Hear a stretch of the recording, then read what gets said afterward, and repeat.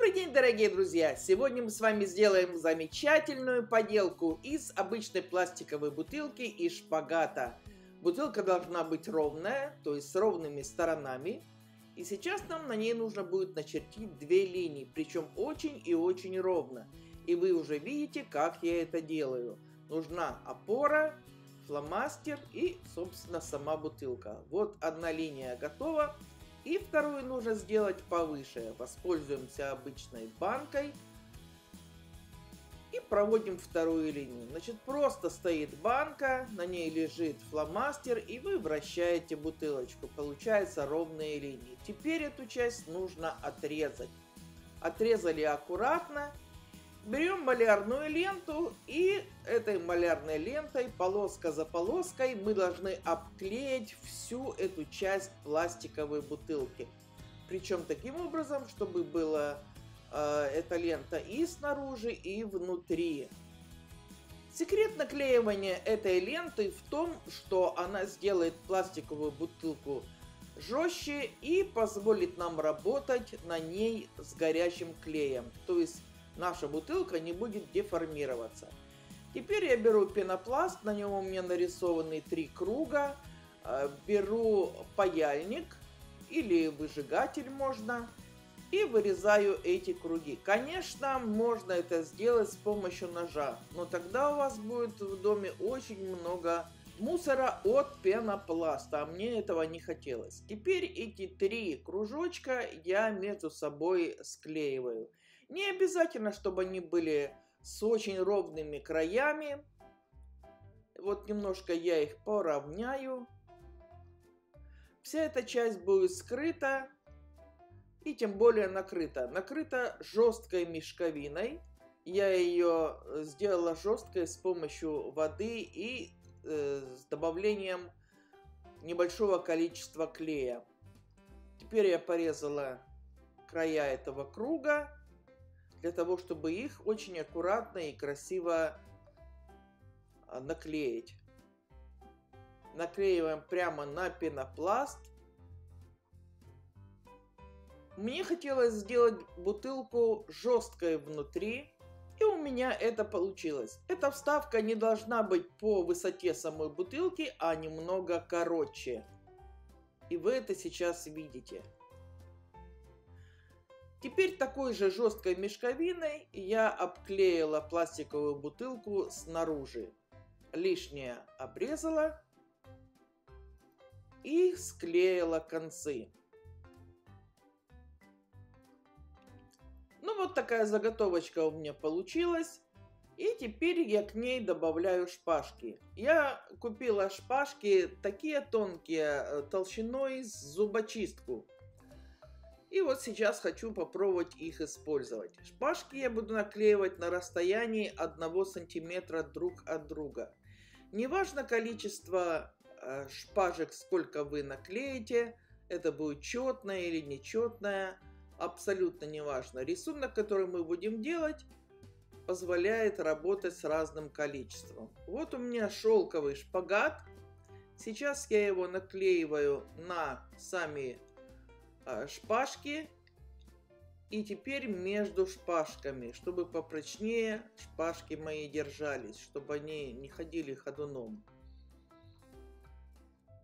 Теперь я делаю намотку. Такую намотку вы уже встречали в моей прошлой поделке. Я о ней поговорю немножко попозже, подробнее. Ну а сейчас просто посмотрите, наматываю несколько раз вокруг шпажки я свой шпагат и немного пальцами поправляю всю эту намотку вниз, чтобы она плотненько стояла. Вот. Заводим за шпажку. Посмотрите вид сверху, сбоку что получается. И считаем. Один, два, три, четыре, пять оборотов. Подвинули. Заводим за шпажку один, два, три, четыре, пять оборотов. То есть шпажка примерно 1 миллиметр толщиной и такой же толщины у меня шелковый шпагат. Дальше мы продолжаем все в том же духе. Забрасываем нить за шпажку и 5 оборотов вокруг. И получится на темно-коричневом фоне очень красивый рисунок. Когда вверху останется примерно 1 сантиметр не закрытой темной мешковины, я начинаю притягивать шпажки к краям моей бутылки как можно плотнее. Заодно я поправляю и расправляю пальцами шпажки. Плотно-плотно прям привязывайте, притягивайте. Приклеивать пока не нужно. И когда вы закончили притягивать последний ряд, нужно приклеить. Клей наношу только на шпажки. И также подтягивая шпагат, его приклеиваю. Заодно поправляя и нитки шпагата уже по намотанному месту. Вот последний виток, отрезаем ниточку. Вот такая заготовка у меня получилась. Теперь нужно убрать шпажки. Берем кусачки и просто легко их отрезаем как можно ближе к краю. Теперь берем тонкий картон и намотаем вокруг него шпагат. И будем приклеивать. И это получится у меня. Ура! Узнали кружка. Темный шпагат, покрашенный марганцовкой. Я им пользуюсь для отделки моей кружки. Ну и, конечно, к кружке нужно сделать блюдце. Два круга у меня э, начерчено. Внутренний круг я вырезаю. Теперь вырезаю внешний круг. И отрезаю часть внешнего круга. Концы нужно склеить. Так как картон у меня тонкий, я это делаю очень легко с помощью, опять-таки, малярной ленты. Вот я склеила, и обе части мне понадобятся. И маленький кружок, и этот внешний. Сплела косичку из шелкового шпагата. И этой косичкой я обклеила мое будущее блюдце и с лицевой, и с изнаночной стороны.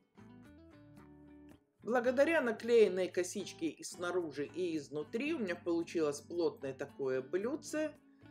Тоже я решила его отделать по краям темным шпагатом. Шпагат этот у меня обычный, но я его покрасила марганцовкой.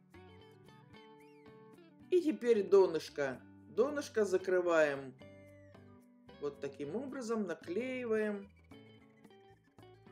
То есть кружочек у меня снова обклеен был косичкой. И теперь закрываем расстояние между донышком и самим блюдцем. Теперь осталось приклеить чашку, нанесем клей и приклеим ее к блюдцу. Теперь нужно сделать пар так как шпагат у меня шелковый, он очень легко распускается. Я его распустила, взяла тоненькую проволочку и обмотала вокруг нее этот шпагат. То есть сейчас я делаю пар. Пар от кофе. Закручиваю на клей карандашный. Ну, можно все что угодно взять. Толстый фломастер – Вот такие завитушки получились. Вставляем пар прямо в кофе. Можно даже не приклеивать. И расправляем его. Ах, какая прелестная штучка получилась! Можно использовать на конкурс просто как украшение на кухне. Не забудьте поставить лайк, если вам понравилась эта работа а также подписаться на мой канал Поделки-самоделки. Всего вам доброго, хорошего настроения. Пока-пока!